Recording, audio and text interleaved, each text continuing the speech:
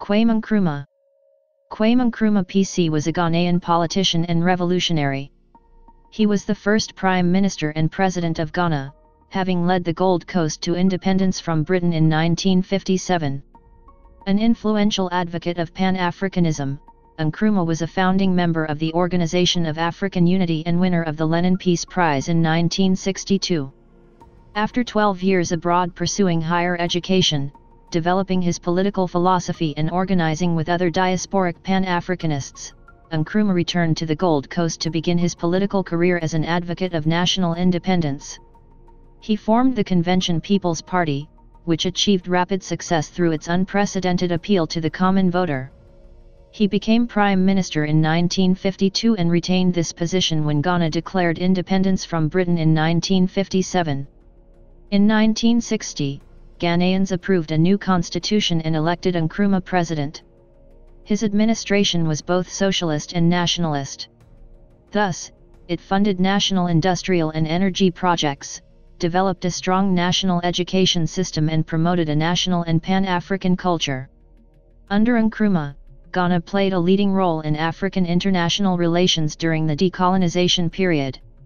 Nkrumah was deposed in 1966 by the National Liberation Council which under the supervision of international financial institutions privatized many of the country's state corporations. Nkrumah lived the rest of his life in Guinea, of which he was named honorary CO president.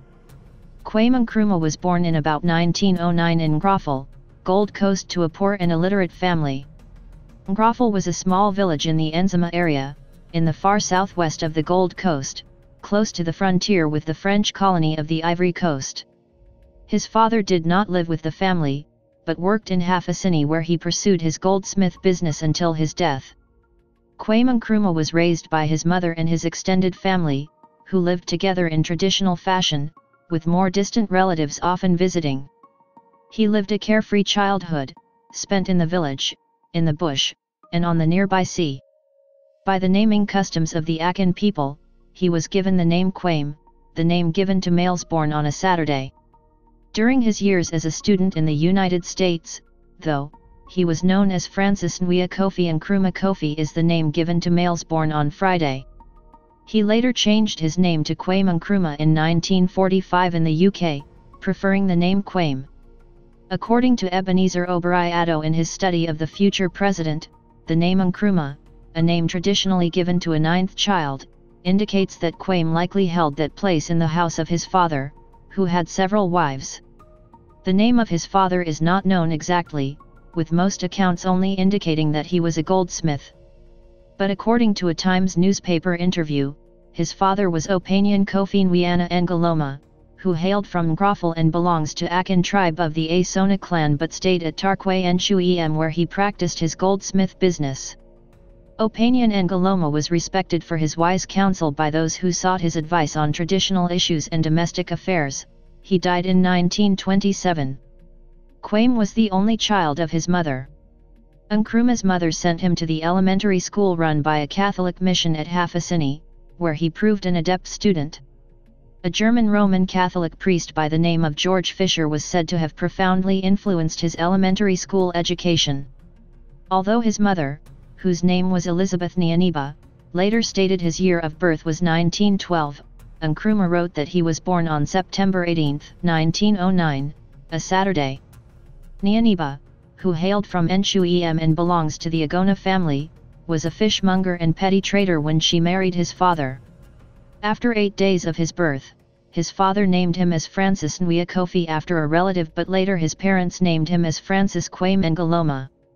He progressed through the 10-year elementary program in eight years. By about 1925 he was a student teacher in the school, and had been baptized into the Catholic faith. While at the school, he was noticed by the Reverend Alec Garden Fraser, principal of the Government Training College in the Gold Coast's capital, Accra. Fraser arranged for Nkrumah to train as a teacher at his school. Here, Columbia-educated deputy headmaster Kwegyir Aggrey exposed him to the ideas of Marcus Garvey and W.E.B. Du Bois. Agrahi, Fraser, and others at Achimota taught that there should be close cooperation between the races in governing the Gold Coast, but Nkrumah, echoing Garvey, soon came to believe that only when the black race governed itself could there be harmony between the races.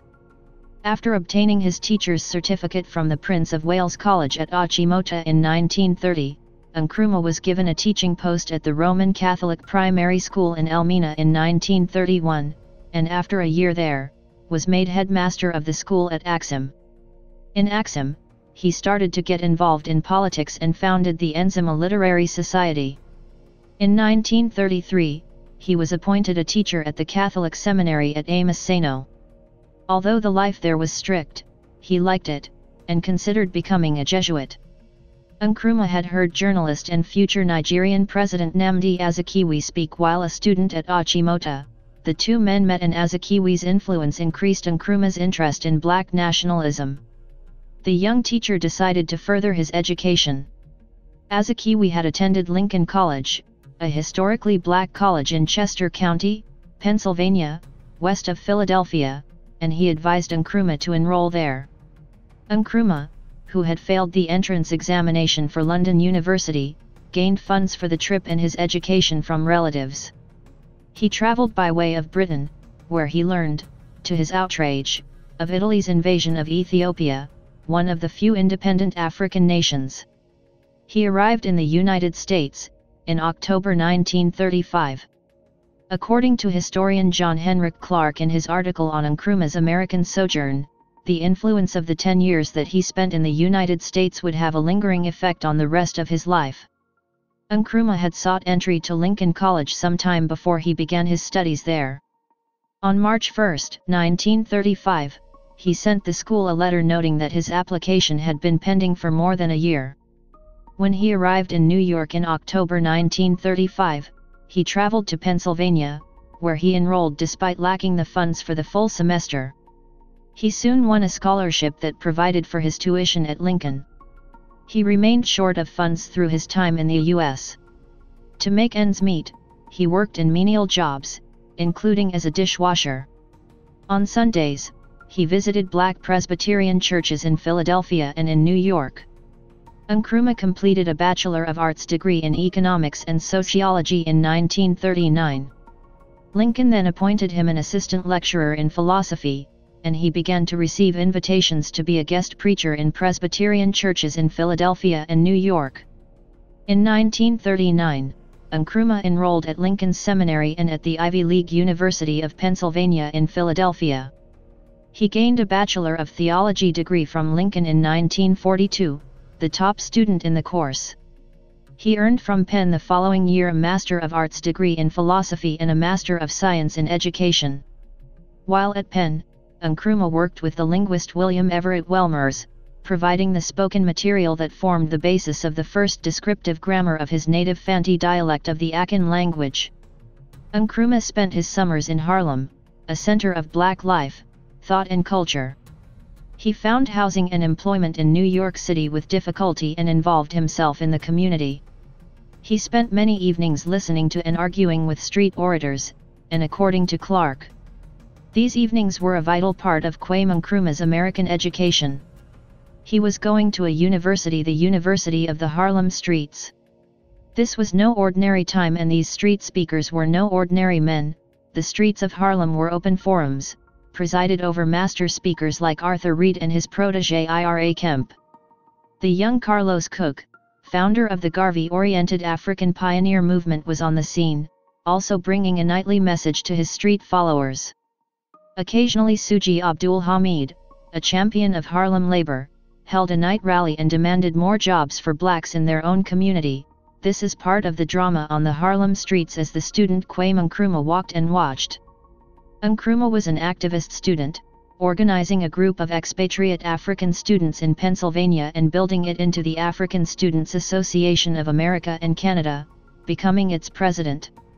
Some members felt that the group should aspire for each colony to gain independence on its own, Nkrumah urged a Pan-African strategy. Nkrumah played a major role in the Pan-African Conference held in New York in 1944, which urged the United States, at the end of the Second World War, to help ensure Africa became developed and free. His old teacher Aggrey had died in 1929 in the US, and in 1942 Nkrumah led traditional prayers for Aggrey at the grave site. This led to a break between him and Lincoln, though after he rose to prominence in the Gold Coast, he returned in 1951 to accept an honorary degree. Nevertheless, Nkrumah's doctoral thesis remained uncompleted. He had adopted the forename Francis while at the Amissano Seminary, in 1945 he took the name Kwame Nkrumah. Kwame Nkrumah, the autobiography of Kwame Nkrumah. Nkrumah read books about politics and divinity, and tutored students in philosophy. In 1943 Nkrumah met Trinidadian Marxist C.L.R. James, Russian expatriate Raya Dunayevskaya, and Chinese-American Grace Lee Boggs, all of whom were members of an American-based Trotskyist intellectual cohort. Nkrumah later credited James with teaching him how an underground movement worked. Federal Bureau of Investigation files on Nkrumah, kept from January to May 1945, identify him as a possible communist. Nkrumah was determined to go to London, wanting to continue his education there now that the Second World War had ended. James, in a 1945 letter introducing Nkrumah to Trinidad-born George Padmore in London, wrote, this young man is coming to you. He is not very bright, but nevertheless do what you can for him because he's determined to throw Europeans out of Africa. Nkrumah returned to London in May 1945 and enrolled at the London School of Economics as a PhD candidate in anthropology. He withdrew after one term and the next year enrolled at University College, with the intent to write a philosophy dissertation on knowledge and logical positivism. His supervisor, a.J. Ayer, declined to rate Nkrumah as a first-class philosopher, saying, I liked him and enjoyed talking to him but he did not seem to me to have an analytical mind. He wanted answers too quickly.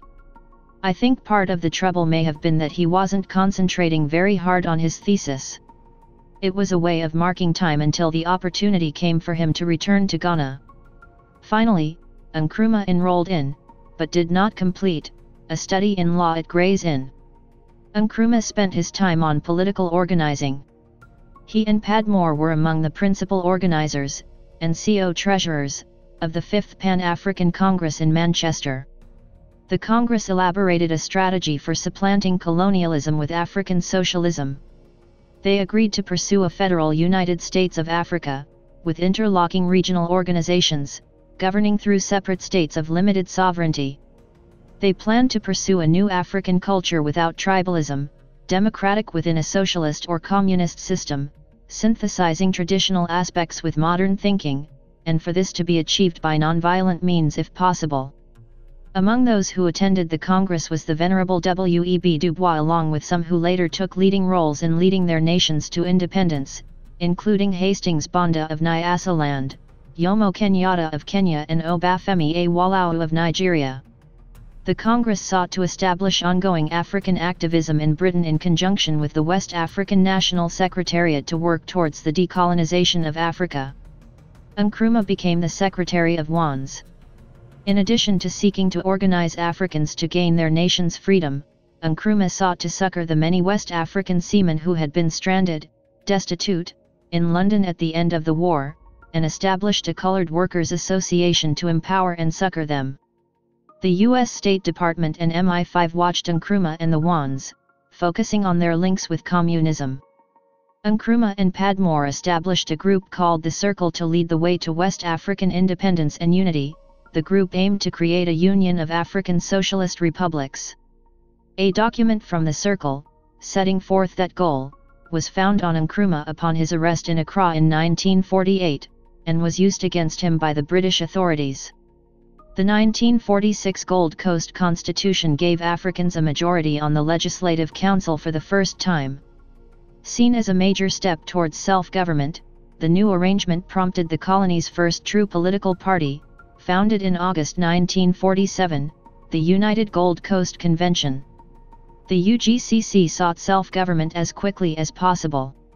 Since the leading members were all successful professionals, they needed to pay someone to run the party, and their choice fell on Nkrumah at the suggestion of Ako Adjei. Nkrumah hesitated, realizing the UGCC was controlled by conservative interests, but decided that the new post gave him huge political opportunities, and accepted. After being questioned by British officials about his communist affiliations, Nkrumah boarded the MV Accra at Liverpool in November 1947 for the voyage home. After brief stops in Sierra Leone, Liberia, and the Ivory Coast, he arrived in the Gold Coast, and after a brief stay and reunion with his mother in Tarkwa, began work at the party's headquarters in Salt Pond on December 29, 1947 where he worked as a general secretary. Nkrumah quickly submitted plans for branches of the UGCC to be established colony-wide, and for strikes if necessary to gain political ends. This activist stance divided the party's governing committee, which was led by J.B. Dan Danquah. Nkrumah embarked on a tour to gain donations for the UGCC and establish new branches. Although the Gold Coast was politically more advanced than Britain's other West Africa colonies, there was considerable discontent. Post-war inflation had caused public anger at high prices, leading to a boycott of the small stores run by Arabs which began in January 1948. The cocoa bean farmers were upset because trees exhibiting swollen shoot disease, but still capable of yielding a crop, were being destroyed by the colonial authorities. There were about 63,000 ex-servicemen in the Gold Coast, many of whom had trouble obtaining employment and felt the colonial government was doing nothing to address their grievances. Nkrumah and Danquah addressed a meeting of the ex-servicemen's union in Accra on February 20, 1948, which was in preparation for a march to present a petition to the governor. When that demonstration took place on February 28, there was gunfire from the British, prompting the 1948 Accra riots, which spread throughout the country. According to Nkrumah's biographer, David Birmingham, West Africa's erstwhile model colony witnessed a riot and business premises were looted. The African Revolution had begun the government assumed that the UGCC was responsible for the unrest, and arrested six leaders, including Nkrumah and Dan Danquah. The Big Six were incarcerated together in Kumasi, increasing the rift between Nkrumah and the others, who blamed him for the riots and their detention. After the British learned that there were plots to storm the prison, the six were separated, with Nkrumah sent to Lawra. They were freed in April 1948. Many students and teachers had demonstrated for their release, and been suspended. Nkrumah, using his own funds, began the Ghana National College. This, among other activities, led UGCC committee members to accuse him of acting in the party's name without authority. Fearing he would harm them more outside the party than within, they agreed to make him honorary treasurer. Nkrumah's popularity, already large, was increased with his founding of the Accra Evening News, which was not a party organ but was owned by Nkrumah and others. He also founded the Committee on Youth Organization as a youth wing for the UGCC. It soon broke away and adopted the motto Self-Government Now. The CYO united students, ex-servicemen, and market women.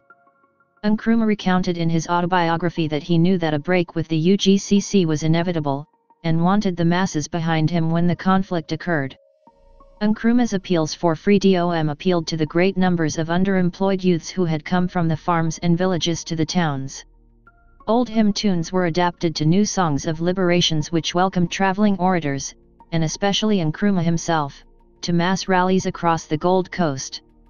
Beginning in April 1949, there was considerable pressure on Nkrumah from his supporters to leave the UGCC and form his own party.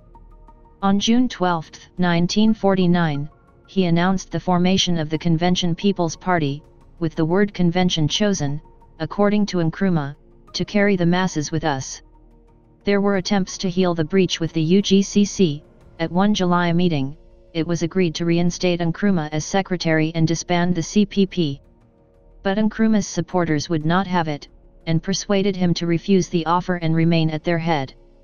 The CPP adopted the red cockerel as its symbol a familiar icon for local ethnic groups, and a symbol of leadership, alertness, and masculinity. Party symbols and colors appeared on clothing, flags, vehicles, and houses. CPP operatives drove red, white and green vans across the country, playing music and rallying public support for the party and especially for Nkrumah. These efforts were wildly successful, especially because previous political efforts in the Gold Coast had focused exclusively on the urban intelligentsia. The British convened a selected commission of middle-class Africans, including all of the Big Six except Nkrumah, to draft a new constitution that would give Ghana more self-government. Nkrumah saw, even before the commission reported, that its recommendations would fall short of full dominion status, and began to organize a positive action campaign. Nkrumah demanded a constituent assembly to write a constitution. When the governor, Charles Arden Clarke, would not commit to this, Nkrumah called for positive action, with the unions beginning a general strike to begin on January 8, 1950. The strike quickly led to violence, and Nkrumah and other CPP leaders were arrested on January 22, and the evening news was banned. Nkrumah was sentenced to a total of three years in prison, and he was incarcerated with common criminals in Accra's Fort James. Nkrumah's assistant, Komla Agbeli Gbedemah, ran the CPP in his absence, the imprisoned leader was able to influence events through smuggled notes written on toilet paper. The British prepared for an election for the Gold Coast under their new constitution, and Nkrumah insisted that the CPP contest all seats. The situation had become calmer once Nkrumah was arrested, and the CPP and the British worked together to prepare electoral rolls. Nkrumah stood, from prison, for a directly elected Accra seat. Gbedemah worked to set up a nationwide campaign organization, using vans with loudspeakers to blare the party's message. The UGCC failed to set up a nationwide structure, and proved unable to take advantage of the fact that many of its opponents were in prison. In the February 1951 legislative election, the first general election to be held under universal franchise in colonial Africa, the CPP was elected in a landslide. The CPP secured 34 of the 38 seats contested on a party basis, with Nkrumah elected for his Accra constituency. The UGCC won three seats, and one was taken by an independent. Arden Clarke saw that the only alternative to Nkrumah's freedom was the end of the constitutional experiment. Nkrumah was released from prison on February 12, receiving a rapturous reception from his followers. The following day, Arden Clarke sent for him and asked him to form a government. Nkrumah faced several challenges as he assumed office. He had never served in government, and needed to learn that art. The Gold Coast was composed of four regions, several former colonies amalgamated into one. Nkrumah sought to unite them under one nationality, and bring the country to independence. Key to meeting the challenges was convincing the British that the CPP's programs were not only practical but inevitable, and Nkrumah and Arden Clarke worked closely together. The governor instructed the civil service to give the fledgling government full support, and the three British members of the cabinet took care not to vote against the elected majority. Prior to the CPP taking office, British officials had prepared a 10-year plan for development. With demands for infrastructure improvements coming in from all over the colony, Nkrumah approved it in general, but halved the time to five years. The colony was in good financial shape, with reserves from years of cocoa profit held in London, and Nkrumah was able to spend freely. Modern trunk roads were built along the coast and within the interior. The rail system was modernized and expanded. Modern water and sewer systems were installed in most towns, where housing schemes were begun. Construction began on a new harbour at Tema, near Accra, and the existing port, at Takoradi, was expanded. An urgent program to build and expand schools, from primary to teacher and trade training, was begun. From 1951 to 1956, the number of pupils being educated at the colony's schools rose from 200,000 to 500,000. Nevertheless, the number of graduates being produced was insufficient to the burgeoning civil services needs, and in 1953, Nkrumah announced that though Africans would be given preference, the country would be relying on expatriate European civil servants for several years. Nkrumah's title was Leader of Government Business in a cabinet chaired by Arden Clarke. Quick progress was made, and in 1952, the governor withdrew from the cabinet, leaving Nkrumah as his prime minister, with the portfolios that had been reserved for expatriates going to Africans. There were accusations of corruption, and of nepotism, as officials, following African custom, attempted to benefit their extended families and their tribes. The recommendations following the 1948 riots had included elected local government rather than the existing system dominated by the chiefs. This was uncontroversial until it became clear that it would be implemented by the CPP. That party's majority in the Legislative Assembly passed legislation in late 1951 that shifted power from the chiefs to the chairs of the councils, though there was some local rioting as rates were imposed. Nkrumah's retitling as Prime Minister had not given him additional power, and he sought constitutional reform that would lead to independence. In 1952, he consulted with the visiting colonial secretary, Oliver Lyttelton, who indicated that Britain would look favourably on further advancement, so long as the chiefs and other stakeholders had the opportunity to express their views. Initially skeptical of Nkrumah's socialist policies, Britain's MI5 had compiled large amounts of intelligence on Nkrumah through several sources, including tapping phones and mail interception under the code name of Swift. Beginning in October 1952, Nkrumah sought opinions from councils and from political parties on reform, and consulted widely across the country, including with opposition groups. The result the following year was a white paper on a new constitution, seen as a final step before independence. Published in June 1953, the constitutional proposals were accepted both by the Assembly and by the British, and came into force in April of the following year. The new document provided for an assembly of 104 members, all directly elected, with an all-African cabinet responsible for the internal governing of the colony. In the election on June 15, 1954, the CPP won 71, with the regional Northern People's Party forming the official opposition. A number of opposition groups formed the National Liberation Movement. Their demands were for a federal, rather than a unitary government for an independent Gold Coast, and for an upper house of parliament where chiefs and other traditional leaders could act as a counter to the CPP majority in the assembly. They drew considerable support in the Northern Territory and among the chiefs in Ashanti, who petitioned the British Queen, Elizabeth II, asking for a royal commission into what form of government the Gold Coast should have. This was refused by her government, who in 1955 stated that such a commission should only be used if the people of the Gold Coast proved incapable of deciding their own affairs. Amid political violence, the two sides attempted to reconcile their differences, but the NLM refused to participate in any committee with a CPP majority. The traditional leaders were also incensed by a new bill that had just been enacted, which allowed minor chiefs to appeal to the government in Accra, bypassing traditional chiefly authority. The British were unwilling to leave unresolved the fundamental question as to how an independent Gold Coast should be governed, and in June 1956, the colonial secretary, Alan Lennox Boyd announced that there would be another general election in the Gold Coast, and if a reasonable majority took the CPP's position, Britain would set a date for independence. The results of the July 1956 election were almost identical to those from four years before, and on August 3 the Assembly voted for independence under the name Nkrumah had proposed in April, Ghana. In September, the Colonial Office announced Independence Day would be March 6, 1957. The opposition was not satisfied with the plan for independence, and demanded that power be devolved to the regions.